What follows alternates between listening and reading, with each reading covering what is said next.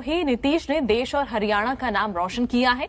Europe महाद्वीप की रूस में सबसे ऊँची चोटी माउंट एल्ब्रेस पर तीन दिन में चढ़ते हुए चोटी पर तिरंगा फहराया, जिसके बाद अब खरकूदा पहुँचने पर नीतीश का जोरदार स्वागत किया गया।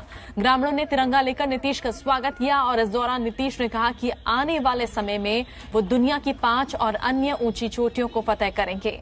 खास बात यह भी है कि इससे पहले वो माउंट एवरेस्ट और अफ्रीका के सबसे ऊँची चोटी पर भी तिरंगा फहरा चुके हैं। माउंट एवरेस्ट के अतिरिक्त और कई अन्य देशों की चोटियों को फतेह करने के बाद अब नीतीश जो है, वो सोनीपत पहुँचा है और यहाँ पर इसका जो है, जोरदार स्वागत जो है, वो ग्रामीणों द्वारा किया गया है। हम एक बार बात कर लेते हैं। यहाँ पे नीतीश जी, जिस तरह से आपने सबसे पहले कौन सी चोटी चढ़े और कौन सा संघ था? वो 2022 में जो अफ्रीका महाद्वीप की सबसे ऊँची चोटी है, माउंट किलिमिजारो, उसको चार दिन में दो बार उस पर तिरंगा फहरा के रिकॉर्ड बना है। तो दुनिया की सबसे ऊँची चोटी है, माउंट एवरेस्ट, उसको पाँच दिन में फतेह किया। उसके बाद फिर एक महीने बाद 21 जून को अंतर्राष्ट्रीय योग दिवस के उपलक्ष्य में मैंने जो यूरोप महाद्वीप की सबसे ऊँची चोटी है, माउंट एलब्रूस, उस पर तिरंगा फहराया।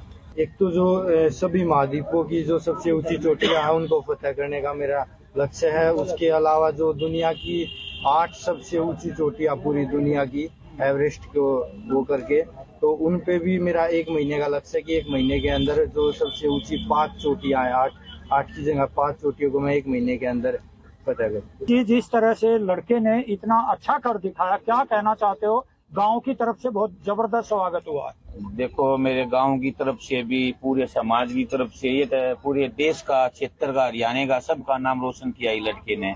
इस लड़के ने वो काम करके दिखाया असंभव को संभव बना के दिखाया। है जब तक ये शुरुआत में जब लग रहा था इस काम के ये असंभव लग रहा था बिल्कुल इसको संभव बना दिया इस लड़के ने।